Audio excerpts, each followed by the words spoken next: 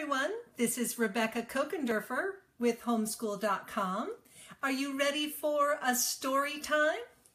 I love our story time time together. I enjoy so much meeting your kids and thank you for letting me read to them and be a part of your life. I enjoy it so much as you come on to the um, the live, the storybook time here, uh, please say hi. You know, write something in the comment field. Uh, maybe uh, let me know the name of your child or, or children who are with you so that I can give them a video shout out. That's always really fun to have somebody from the TV screen actually calling their name and saying hi. Uh, so today, um, the, I found a great book for us to talk about. It's called How Full Is Your Bucket? But before we start that, you know how I love uh, homeschooling t-shirts? So I have another one for you to take a look at. It's called, can you see what it says? Home plus school, they're better together. I love this. And this is part of uh, homeschool.com's 20th anniversary celebration this year. So I uh, picked up this t-shirt when I was speaking in Cincinnati last month. And by the way, if you live in Cincinnati or that Kentucky area, I must say the nicest people on the planet. I enjoyed my time so very much. So thank you so much for welcoming me there. And hopefully we had a chance to visit at the homeschool.com booth or during the workshop. Um, my next time speaking is going to be in Southern California in June. So if you get a chance to go to that homeschooling conference, oh boy, I would really enjoy that. I, I would enjoy meeting you. So here's the idea of how full is your bucket.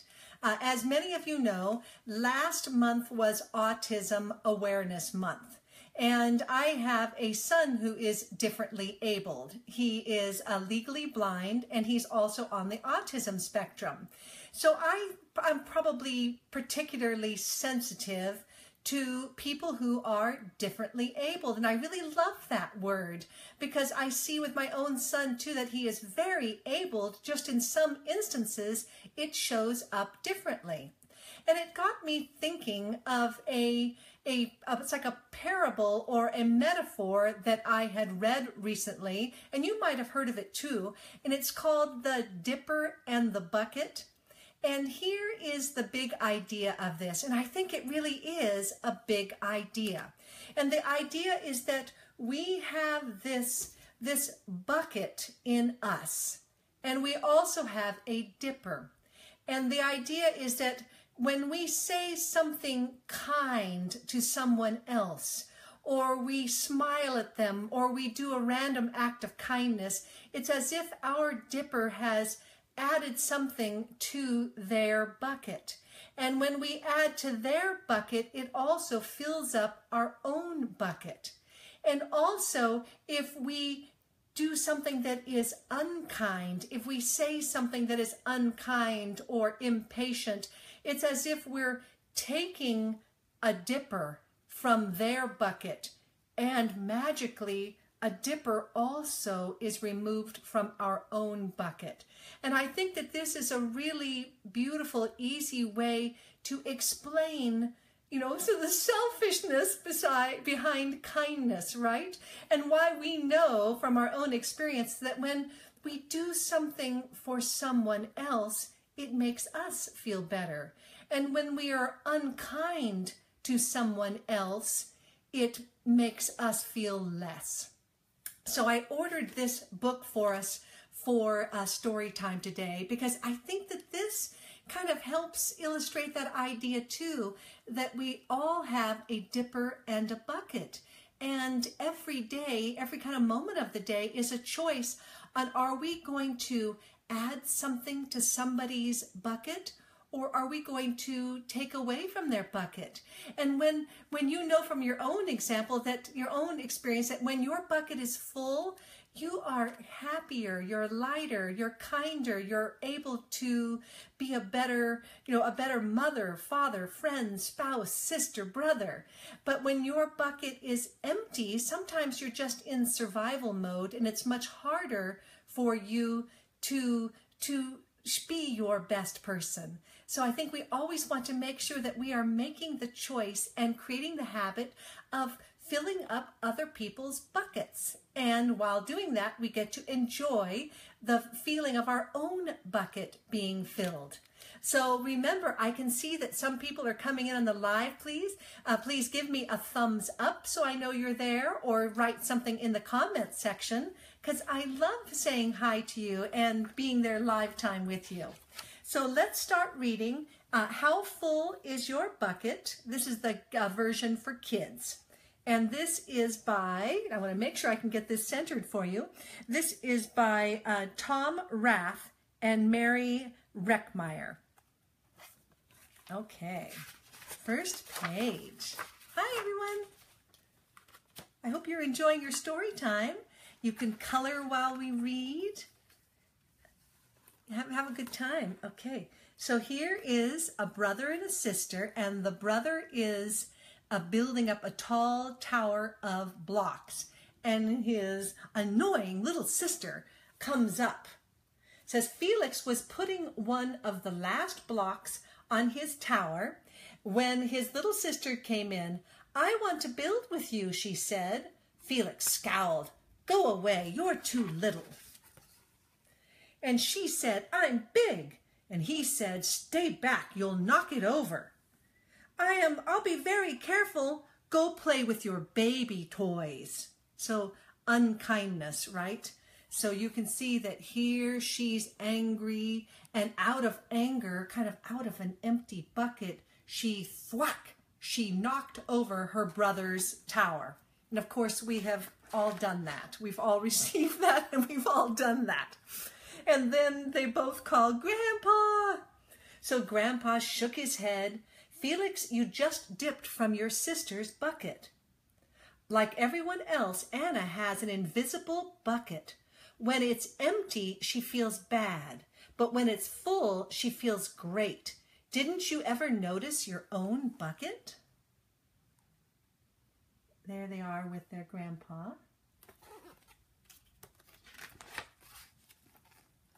But the next morning, when Felix woke up, there it was, a small gray bucket floating over his head.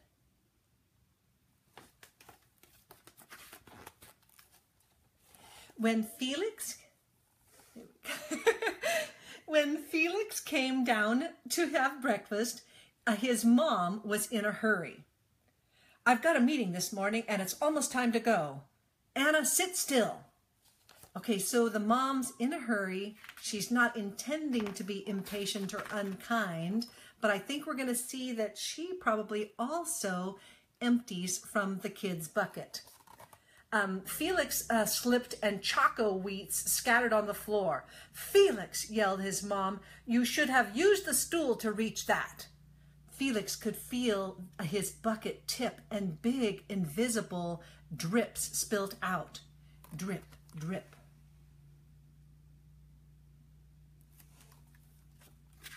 look, take a look at this picture. It's so funny. It's his sister with a little mean, spiteful look on her face, stomping on the, the little choco Wheaties or whatever they are, enjoying, enjoying her brother's distress. That never happens in real life.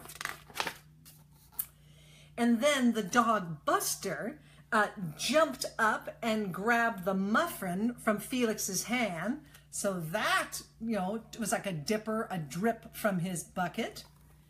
And then he got onto the school bus, and the kids said, Hey, look at Felix's new backpack. My baby brother has one just like it. So they said something unkind, and that took water out of his bucket. And then it was, he was walking down the hallway and he saw some kids, and they appeared to be talking about him behind his back. So that took from his bucket. And then someone knocked into him and said, Watch out, shrimp. So notice how he, when he woke up, he noticed his bucket. He started with a full bucket, but all this stuff happening, you know, spilling his cereal, getting yelled at by his mom, um, his sister enjoying his distress, um, you know, the dog even eating his muffin. It's all making his bucket lower and lower and lower. So this was, it's still only morning, and look at Felix's face there. Can you see that? And can you see the bucket over his head and how there's only just a little bit in that bucket now? Because he's had one of those bucket emptying mornings, which we all have.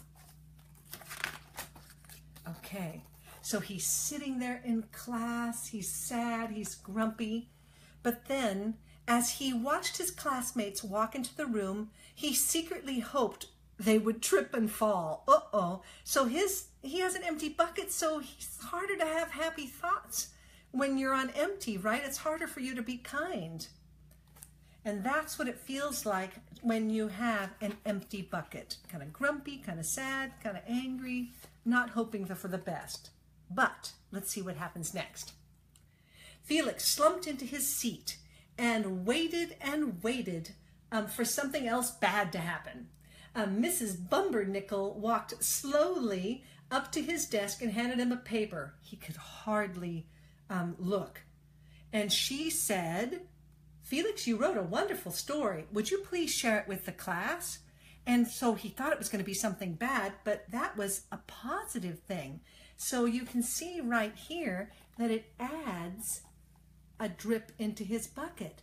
And then he uh, read his story to the class, and everyone really liked it, and they clapped at the end.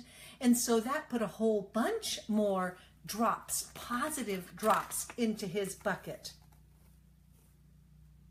And then when he was um, out on the playground, the teacher said, Oh, Felix, I want you to be captain today. You're such a good captain. She said something nice. That put um, drops into his bucket. And then the art teacher said, Oh, well done, Felix. I really like what you've done with your art. That added to his bucket. And then a nice girl at the school said, Oh, cool backpack. I really like your backpack. So that started filling up his bucket.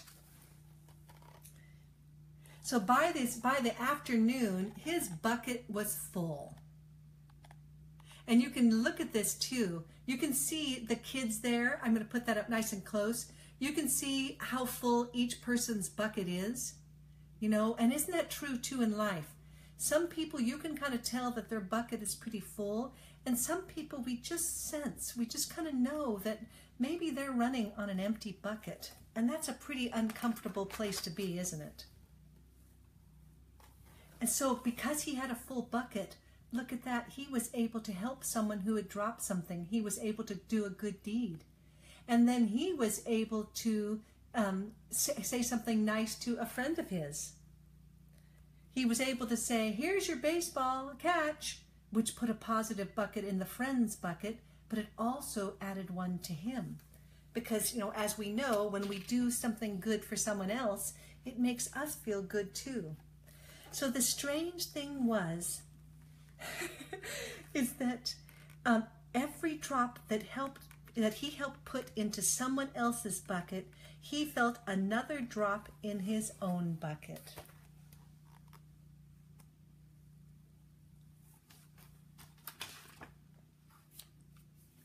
So then he came back home and he had a full bucket. So whether, you know, you're at school or you're going to church or you're running errands or you're homeschooling, you know, pay attention to how full your bucket is. And when your bucket is full, look at the little sister. It looks like she has not had the greatest day. And because she hasn't had the greatest day, it looks like the grandpa and even the dog, their buckets are pretty empty too. So, from his place of love and kindness and a full heart, he was able to go and hug his sister and let her build blocks with him. And then that filled up um, her bucket too. So that's the story of how full is your bucket for kids. And so I thought you might really like that. I ordered my copy from um, Amazon and I just think it's such a nice discussion point, isn't it?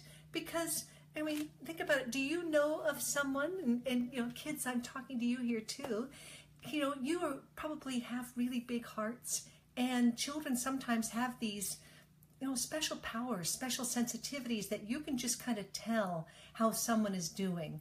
So maybe you keep making that choice and you use your your special power, your special kindness for good. So maybe, especially if you can tell during this kind of special needs, this differently abled month, um, you know, does somebody need an extra smile from you? If they drop something, do you help them pick it up? If they lose something, can you help them find it? Can you do some some extra good deeds around the house or for people, knowing that every time you do, you fill up their bucket and you fill up your own too. And it just wouldn't the world be a better place if we all had full buckets? You know, if we were just kind of aware of that, what a difference it would make in our home, with our brothers and sisters, with our parents. Just that little extra kindness of filling up other people's buckets. And also, of course, taking very good care of ourselves when we can tell that our own bucket is empty. Maybe that's when you need to do some self care on your own to color a picture or to read a book for a while or to go out in nature for a little bit. Those are also good ways of filling up your bucket. Oh, I saw the heart across the screen. Thank you so much. And Melissa, I'm going to get it really close here so that I can read it. Oh, thank you. Yes, I think it's a sweet story too. It's um is it a metaphor? Is it an allegory? Is it a parable? Is it a poem? But I love it. So guys, I'm so glad you're here. Okay, so what is so Melissa, what is the name of your your child who's there? Or are you watching it? Am I reading to you, Melissa? Very happy to. But if you want, write in the name of uh, your your son or daughter who is watching this, the story time, so I can say hi to them. And I do, and I think this too. Think speaking of kindness, I love homeschooling because I think it is such a kind place. I do believe that home and school, I think that they are so good together. Hi, you guys. Oh, is that Kylie? Your eight year old. Hi, Kylie. And hi, Sandra. And that's hi from. Uh oh. it's really tiny print, you guys. If I get up too close, you, you look right up my nose. It's just not pretty. so, Sandra, I see too, you have. Oh, is that Darwin? Darlin? Um, oh, hello there. I'm saying hi to you. Sorry for massacring your name. Hi, you guys. I'm so glad you're here. So enjoy your special home and school together where you get to look out for each other and you know fill each other's buckets and other people's buckets with kindness because I think that homeschooling is a great way to keep your bucket full because you love what you're doing you love the people you're with and maybe from that place since you're so lucky to have the wonderful family that you have, the wonderful educational experience that you're having, your bucket is probably pretty full. So maybe from that full place, think about how you can maybe add some special drops and some, some ladlefuls to other people's buckets as well. I hope you've enjoyed this story time. I love being here with you. This is Rebecca Kochenderfer with homeschool.com, and I'll talk with you next week. Bye, everyone.